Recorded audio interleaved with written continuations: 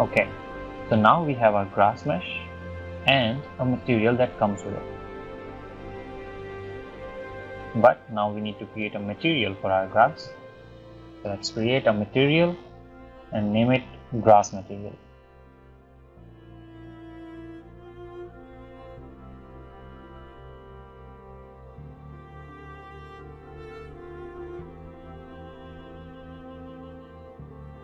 Now we need to open it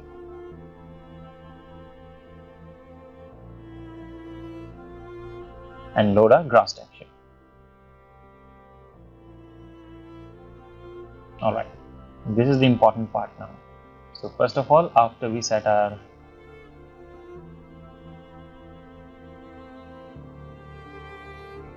alright so first thing we do is we make it a masked material and then we connect color and transparency to base color and opacity mask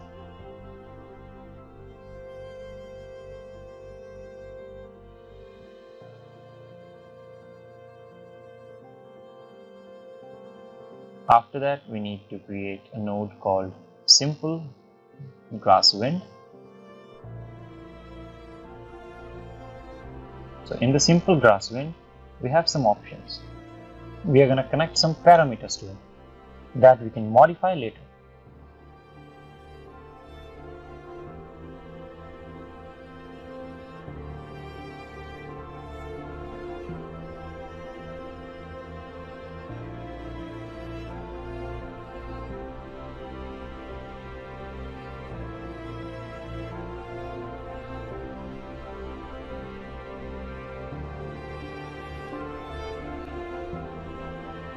So let's give them a base value. You can choose whatever you like. We can always change it later on and connect them to their respective nodes.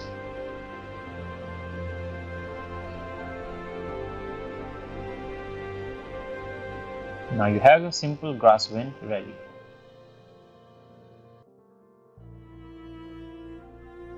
Next we are going to create a linear gradient it's gonna create the mask to control how much the wind affects your grass.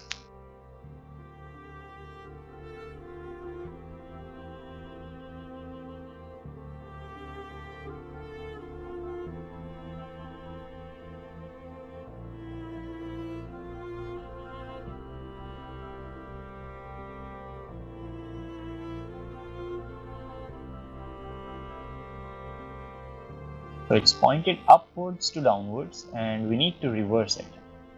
So we create a 1 minus node and that reverses the direction of the gradient. After that we connect it to a power node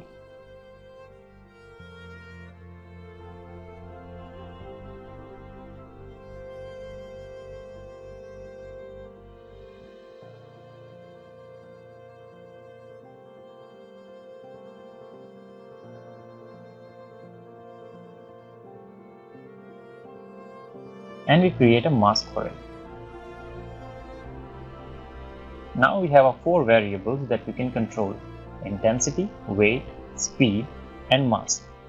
Now all we need to do is connect our simple grass wind and our linear gradient to a multiply node which we can connect to world position offset.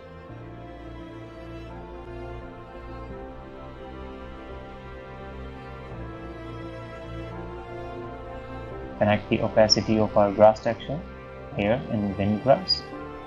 And then we're ready. Now let's save and apply the material